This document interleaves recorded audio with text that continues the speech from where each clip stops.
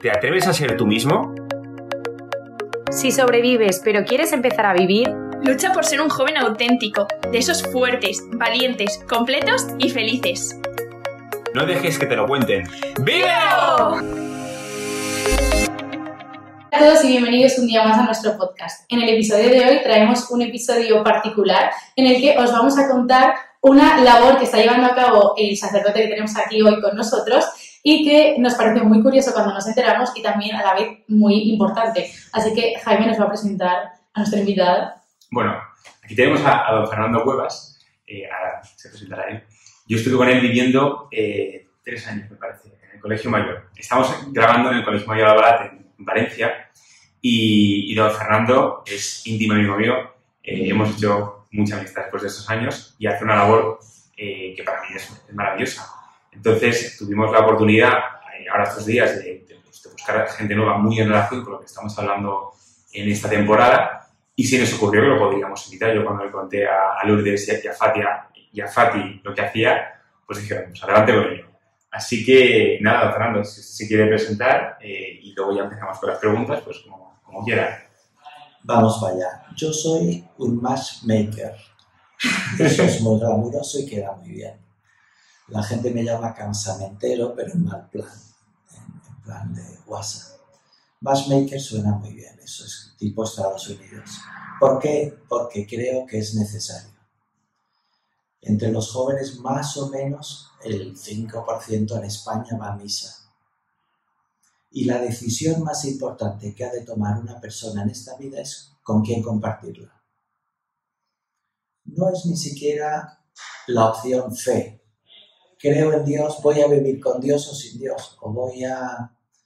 ¿Qué decisión voy a tomar en cuanto a la carrera, en cuanto al trabajo, en cuanto a la salida profesional, en distintas opciones? ¿no? Lo más importante es con quién voy a compartir mi vida. El, más del 50% de los matrimonios se separan, con lo cual da una sensación real de fracaso tremendo. Yo lo que presto es un servicio a la gente que quiera, eh, por edad, por... Tiene que ser gente comprometida con la iglesia, gente que como mínimo vaya a misa domingo. ¿Y en qué consiste el servicio, el servicio padre? Porque no lo hemos explicado exactamente. El servicio consiste en conectar chicos con chicas con pistas a un posible matrimonio. Es como un business developer, pero con personas. Sí, hay cantidad de... En internet hay cantidad de cosas de estas, de Tinder, miles de cosas parecidas. ¿no? Pero en esto, por supuesto, la privacidad es absoluta. A ti, si tú estás en mi catálogo o estuvieras, pues tú me rellenas una ficha. Edad, estatura, estudios, trabajo. Cómo te gustaría que fuera, tus carencias, tus virtudes. Yo, se la enseño, yo te enseño posible chico si tú me dices este por su ficha, por sus fotos, este. Y entonces él sabe que existes gracias a esa ficha que le mando por WhatsApp. Vale, entonces. Si él da match, si él da el ok y tú das el ok, hay match. Y quedáis cuando queráis a tomar algo. Existe esa posibilidad individual, single, individual. O bien la otra posibilidad que es actividades grupales. Una vez al mes hay una excursión. Vienen 50, 60, 70, 40, depende. Nunca se sabe los que van a aparecer. Y una vez al mes hay un cineforum, un coloquio. Si quieres venir, vienes, y si no quieres venir, no vienes. Cada uno hace lo que quiera. Pero es un modo más natural de conectarse, de verse, de conocerse. ¿Por qué? Porque organizas caladeros así o no tienen dónde verse al final, em, mucha gente, incluso de, pues, del entorno de economías y demás, a veces que sorprende, pero siempre les digo que eh, de la misma forma que muchas veces eh, queremos recomendar amigos entre sí, eh, esto es hacer lo mismo, pero un poco más profesionalizado, porque también es verdad que muchas veces ocurre, ¿no? si trabajas en una ciudad pequeña o, en un sitio que está un poco más aislado, al final, durante el día a día, es muy difícil eh, encontrar huecos libres primero que tenemos poco tiempo libre y además eh, menos tiempo aún para conocer gente a lo mejor que eh, te interesa pues como, como, como compañero, como marido, como, como esposa. Eh, entonces al final es hacer un poco eso y dar facilidades a, a la gente. ¿no? Es que si no, no se conocen. Es que si no, no se conocen. O sea, eh, una persona de 40 años, ¿qué hace si está soltera o ha tenido la nulidad? ¿no? ¿Y qué hace? ¿Dónde conoce una chica que va a salir los viernes y los sábados? Claro, es que sin querer Por la noche. piensas de primeras que solamente es gente joven o así, más de nuestra edad, pero yo no sabía que también había gente más mayor. Y mm, un poco para ubicarnos, me gustaría saber cómo empezó a hacer esto y cuánto tiempo lleva y cuál es su porcentaje de acierto. No, sí, sí, eso he oído, por eso creo que es importante que la gente Esto lo sepa. empezó hace 14 años con un chico que hablaba mucho conmigo,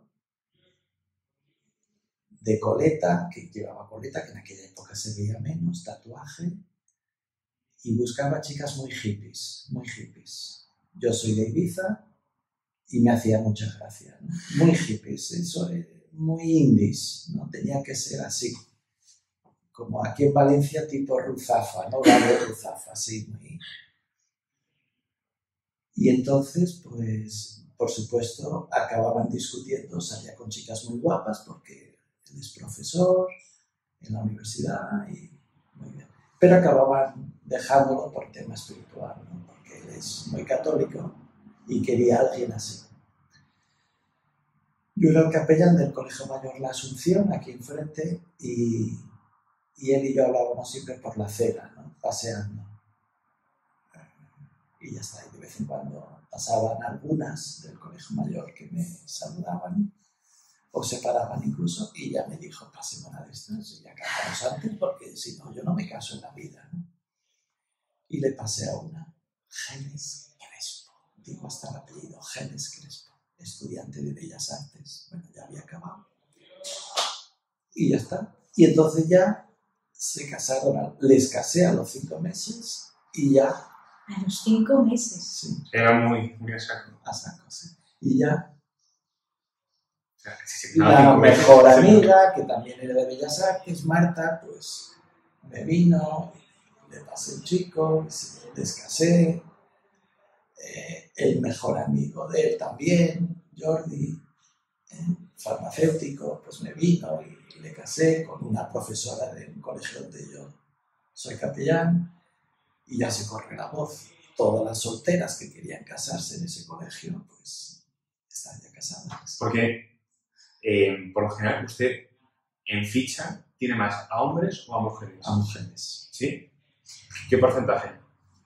Mejor no decirlo.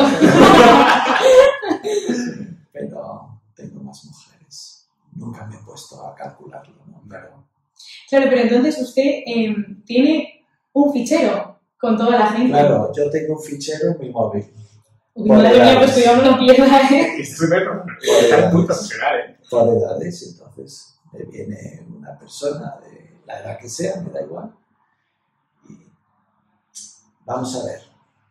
O sea, yo sé desde el principio si eso va a salir o no va a salir.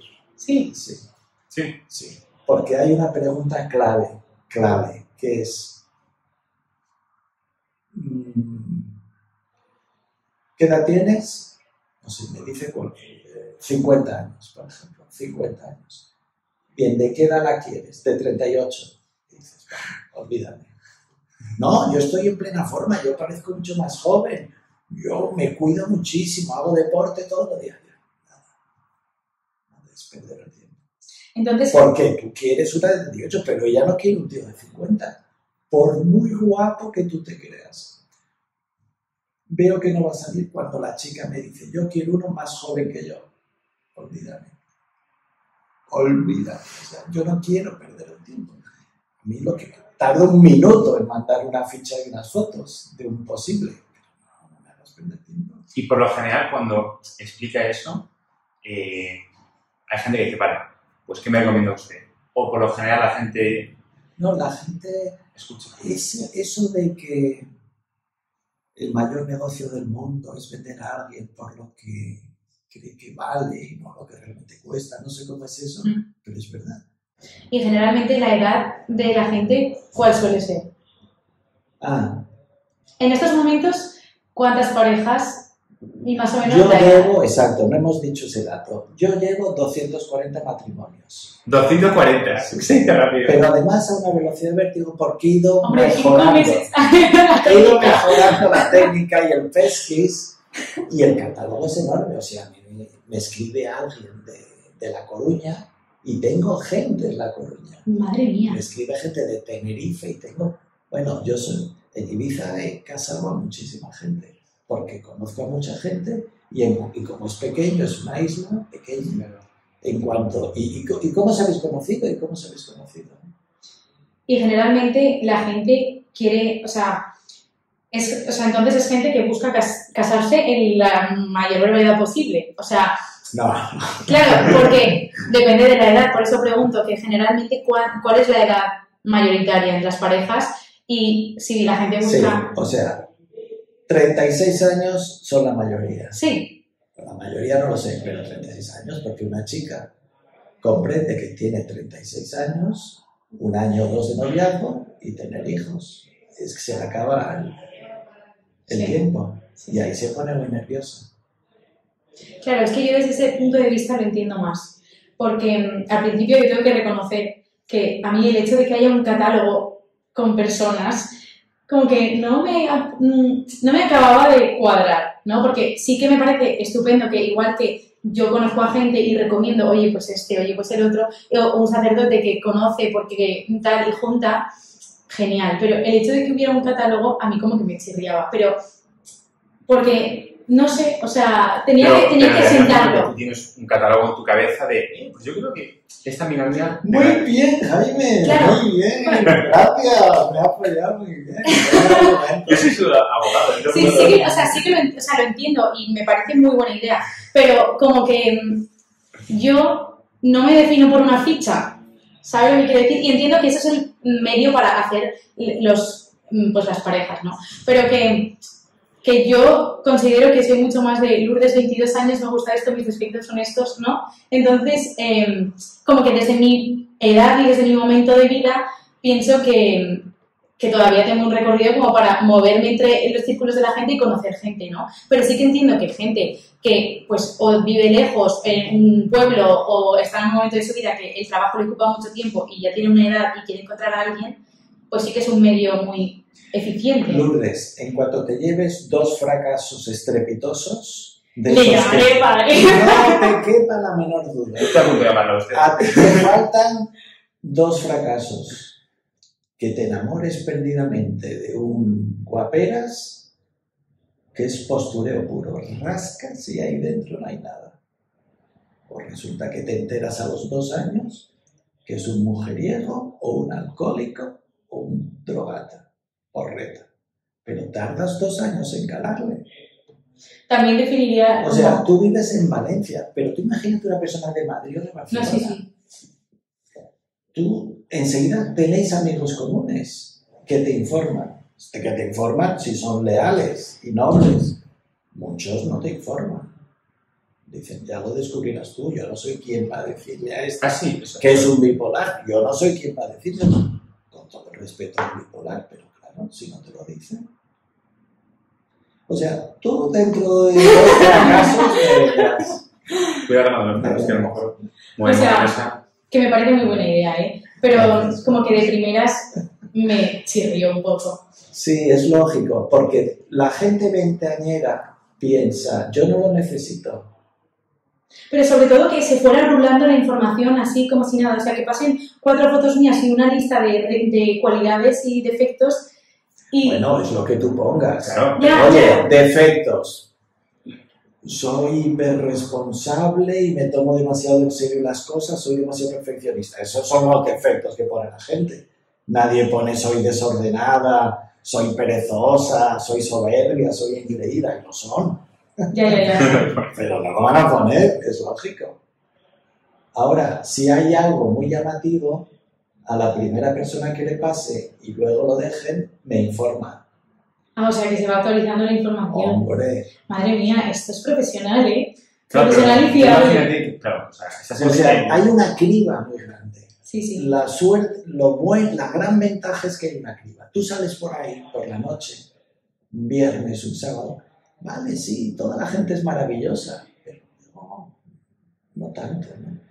¿Qué No, que- que es que se me ha ocurrido otro pensamiento, entonces ya me he perdido. Pero es tan sencillo, o sea, a la gente le choca, pero también es verdad que yo creo que la gente es plenamente libre para hacer lo que Por quiere. supuesto. Entonces, Hombre, ya, solo- no, no, no, no, no, en el sentido de que, en el sentido de que hay gente que le chirría lo que usted hace. Ostras, si yo tengo un amigo que conoce a una chica buena, ostras, no voy a ser tonto de no preguntárselo. Entonces voy a preguntar, oye, eh, ¿conoces a alguien con, con, con la que puedo hacer match o no? Que alguna chica Sí. Pues esto es lo mismo, pero acuden a usted. Y todo el mundo acude libremente, sin coacción, y demás. faltaría. y luego, además, y luego además, cuestionar. y luego además, claro, que habría que preguntar a esas 243 personas que seguro que serán, pero vamos, creo yo, súper felices. Sí, no hay ni un separado. Pues fenomenal. No ha habido ningún fracaso matrimonial. Es que yo me imagino usted padre ahí con el móvil, a ver, a ver, esta- es que, o sea, que sí, No, no te Pero- es fácil, te lo digo en serio. Porque aquí lo. O sea, lo que distingue de todo lo demás es que es gente católica. Católica de veras. Y normal. ¿Dónde suele, es decir, ¿de dónde suele llamarle la gente? ¿De No, de lado. En cuanto hay un match de ese sitio, me escriben mucha Ah, gente. Mándeme la ficha. Yo recibo 15 WhatsApps cada día. ¿Cada día? sí. ¿Y cómo se acuerda? No, no me acuerdo. Yo no me acuerdo. Yo le mando la ficha al segundo de que, me- bueno, cuando veo los WhatsApps, ¿Vale? eh, varias veces al día miro WhatsApps y los contesto. Le mando la ficha, la tengo ya grabada, o sea, tarda un segundo. Vale. en- y Me la manda y la pongo por orden de edad. Ah, vale. Quiero decir, porque ¿cuántos contactos puede tener ahí? ¿Mil? ¿Dos mil? No los he contado de verdad, pero muchísimo. Vale, pongamos dos mil. O sea, acordarse de dos mil personas No, yo es no me acuerdo. imposible. No, es Entonces, claro, ¿cómo lo clasifica? por edad.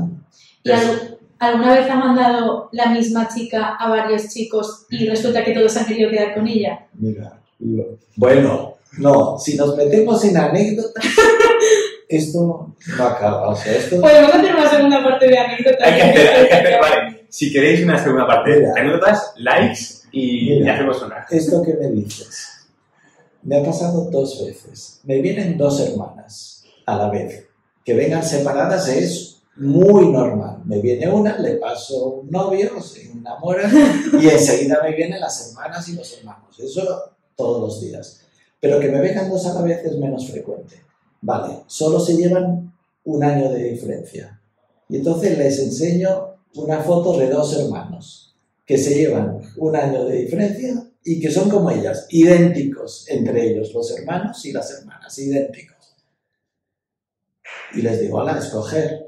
Y dicen, no, si no les conocemos, nos da igual uno que otro, nos encantan los dos. Y ellos me dicen lo mismo. No, usted que les conoce, escoge usted. No. Pues quedar los cuatro. Y no se ponían de acuerdo. Se ven una vez, se ven dos, se ven tres. Y no. Quedaban los cuatro. Y no se ponían de acuerdo. ¿Cuál elegir? Yo le decía, hombre, pues el mayor con la mayor y el pequeño. No, al final lo hicieron al revés. ¿Ah, sí? Qué fuerte. ¿Y cómo va la cosa? ¿Va bien? Bien, me ha pasado con dos. Con dos. Qué fuerte. No, anécdotas de eso. Hay una Alicia cuidado. No, no, no pasa nada, pero si ellos van, si ellos luego son propagadores, Ah, van sí. dando mi móvil a todo el mundo. Me llaman. Llamo desde Australia. Ostras. En castellano perfecto, yo pensaba, me está tomando el pelo. Una cámara oculta aquí. Su fama le precede, me han hablado mucho de usted, a ver si por favor, que aquí está todo el pescado vendido, somos cuatro gatos, los católicos, nos conocemos todos, son más raros que un perro verde, ¿qué hago? Y le digo, bueno, mándame la ficha, para empezar, relléname la ficha. Y luego te mandaré, por ejemplo, seis, siete fotos de chicos y su ficha. Tú escoges el chico, le pregunto a él, y tú te irás. Ella me decía, yo quiero ir a trabajar a España, a dar clase de español o de lo que sea, me da igual, de inglés, claro, de inglés. Y ya está. Y entonces le- una de las fotos le gustó mucho, la ficha, un chico de Ibiza, que le conozco desde que es un niño. Le pregunté a él, dijo que ok, y, y ya está, ella llegó a Ibiza y a los pocos meses, ahí está, con un bebé ya. Qué Qué bonito, qué bonito. qué. Y la hermana, estamos en ello. La hermana ahora es la misma operación. La misma operación. Sí, eso es típico. Pero la hermana dice, no, no, pero que el chico vaya. Y, sí, hombre. sí, yo paso un mes, le enamoro y luego... Le enamoro, No, le encanta. Va a ser muy complicado, pero estamos en ello. a ver. Otra anécdota. a ver. Bueno, esas... O sea, yo esto me lo paso bien. Hombre, es que debe ser divertido. O sea, yo como un culebrón 24-7, o sea, básicamente. podría decir que esto es un servicio, es un sacerdocio, que me entreno totalmente, en mi poquísimo tiempo libre hago esto, en fin, porque veo que hay demanda. No, no, es que me lo paso bien. O sea, no hay otro truco, es que me hace gracia. Porque veo que por un minuto que le dedico, pues hombre, cambia la vida de esas personas. Totalmente. Totalmente, y les marca, ¿no? Y a la iglesia le viene bien porque son matrimonios cristianos. ¿eh? Mucha gente me dice, mire, le voy a pasar a mi hermano porque que es- o se echa una buena novia o se nos pierde, porque es un desastre. ¿no? Bien, no sé si te lo conté, Jaime, porque la última vez que fuimos tú y yo íbamos hacia el Es clínico. que me cuentan muchas cosas. Sí, pues hubo un chico que me vino hace nada, unos meses, y que me vino. Y entonces les, me rellena la ficha y entonces cuando me rellenan la ficha les veo y les hablo de posibles. Pero lo que os iba a contar es de un chico, vale, le enseñé, y cuando le enseñé una foto, me dijo, no puedo creer. Yo a esta chica la veo todos los días yendo hacia el clínico Ostras. todos los días. Si yo me retraso tres minutos ya no la veo, pero ella es puntualísima. Sé la ropa que tiene, varía mucho, pijamas no puede, o sea, es muy chulita, muy elegantita, me encanta, me encanta. Y yo llevo meses y meses viendo. Qué fuerte. Conclusión, ¿cómo están ahora? Bueno, es un tío muy tímido, ¿eh? Bueno, pues, Porque cualquier otra persona que le pasa eso, le dice, perdón, en el semáforo, no, perdona, tu cara me suena, ¿de qué nos conocemos? Digo, cualquier tontería, ¿no? Y ya, pero este no, porque es muy tímido. pero bueno, Y entonces, como le conozco, le tomé el pelo, ¿no? Salió bien, ¿eh? la historia. Y dije, mira, yo no le voy a pasar tu ficha, ya que la ves todos los días que quieras, si eres puntual, la verás. Tú le dices que me conoces, cualquier cosa, métele, tómale el pelo, cualquier cosa. ¿Y lo hizo? Sí. En un semáforo le dijo, me ha dicho don Fernando que te salude y que te diga que él piensa que tú y yo nos tenemos que casar. Qué crack, ¿no? Claro, la chica. Hombre, madre mía. Pero oí, lo oí totalmente. O sea, este tipo de cosas. ¿Y está saliendo? Sí, sí, sí. Ah, ambos, pero sí, sí, sí. Claro, lo normal es que yo le hubiera mandado la ficha a ella, que ella lo pensara, viera las fotos y me dijera, sí, sí, ya me he fijado, ya me he fijado, le he visto varias veces.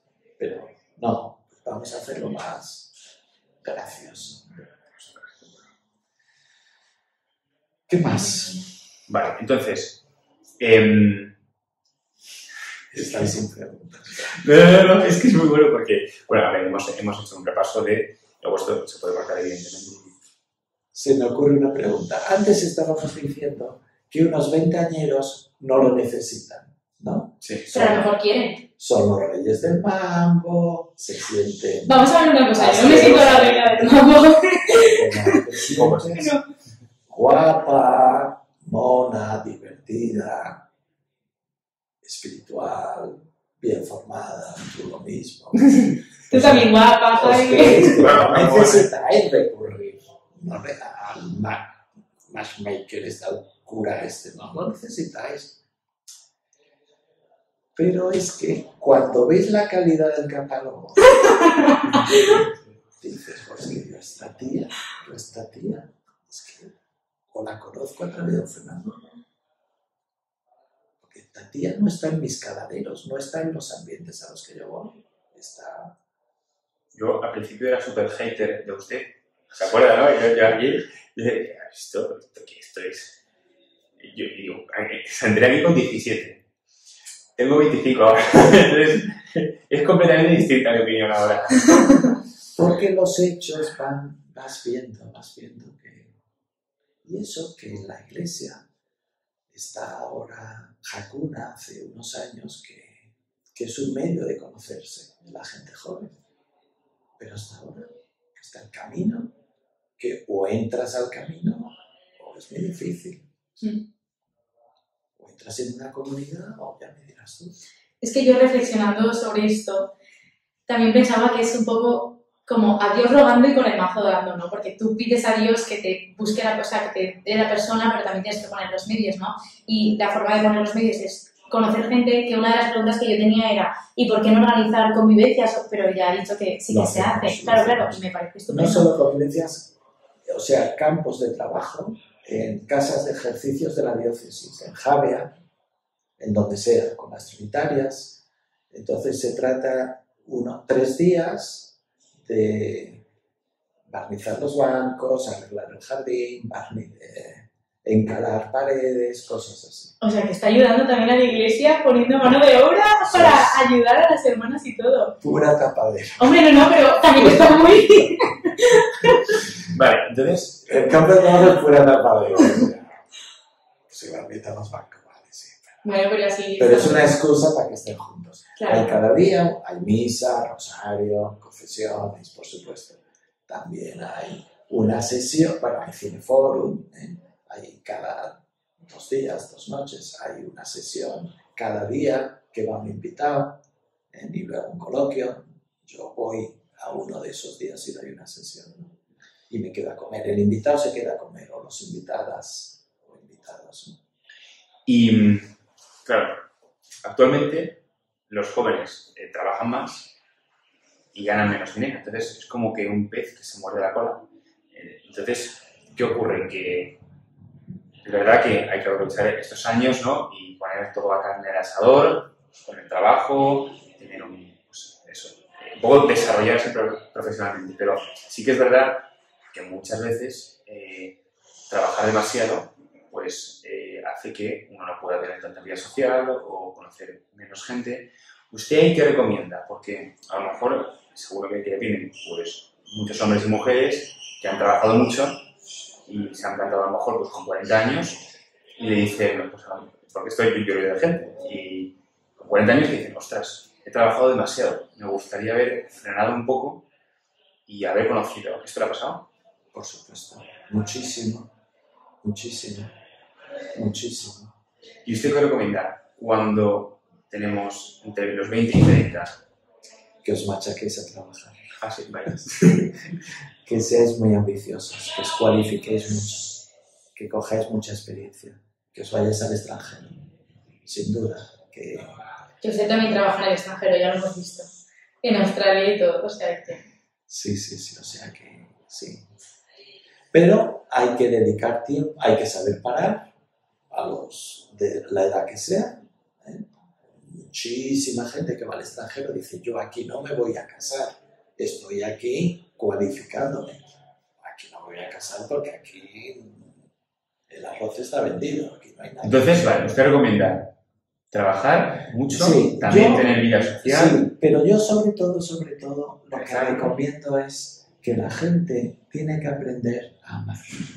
O sea, el gran problema es que la gente es egoísta. Así. O sea, lo que yo te decía antes de que ya te llevara chascos, ya verás. Gente que son infantiles, que son inmaduros, que son egocéntricos, que están enamorados de sí mismos o de sí mismas.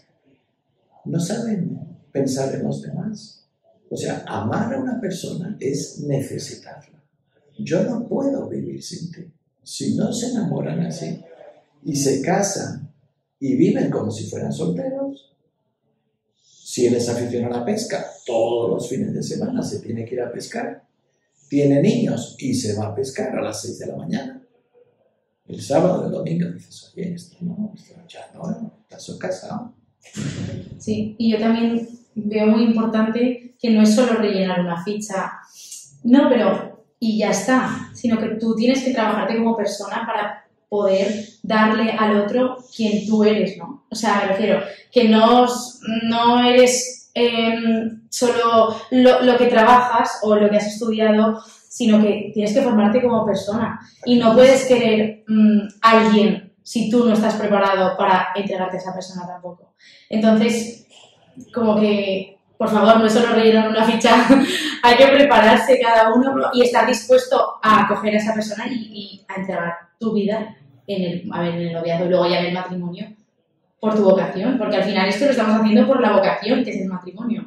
Igual que la vocación del sacerdocio, que ahí no hay que hacer más, porque pues no hace falta.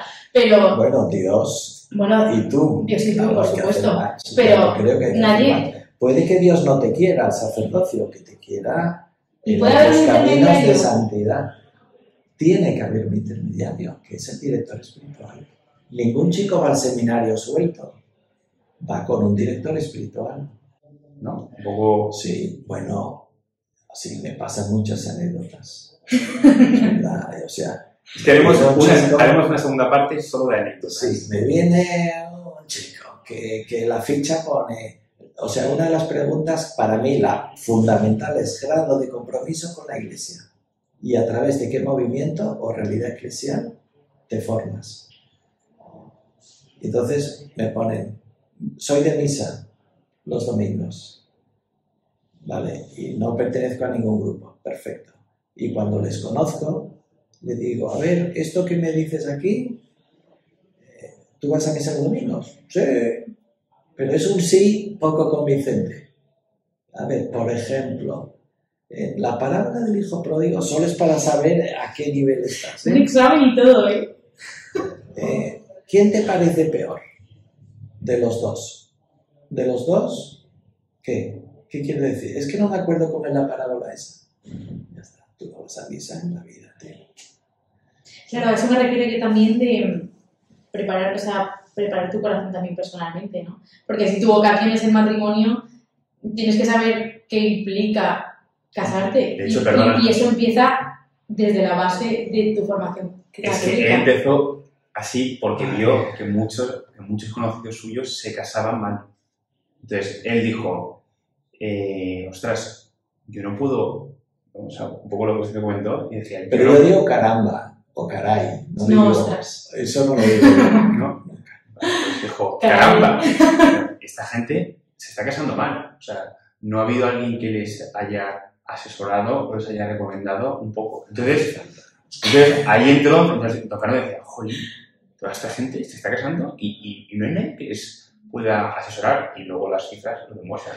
Sí, bueno, y también como vas conociendo mucha gente, porque un sacerdote conoce a muchísima gente, hombre, pues te da pena, porque conoces a una tía que le pega mucho a un tío, al que les ves mucho a los dos, Claro. con frecuencia, pues te dan ganas de decir, oye, pues, o sea, claro, eso es, es prestar un servicio que decíamos al principio, ¿no? ¿Cobra algún tipo de tarifa? Preguntará. No, no. Y tiene ayudantes, padre. No, no.